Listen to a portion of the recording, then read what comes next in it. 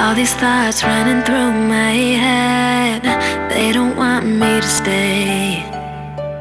Second guessing, looking over the edge, telling me to walk away.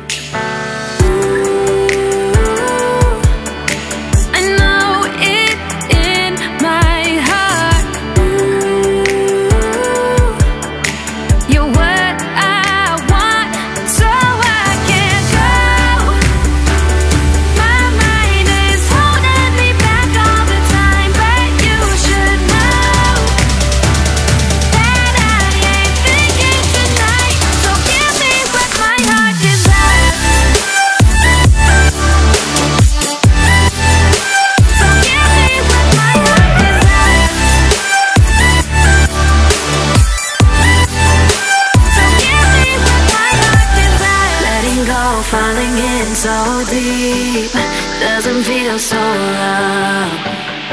So put your hands all over.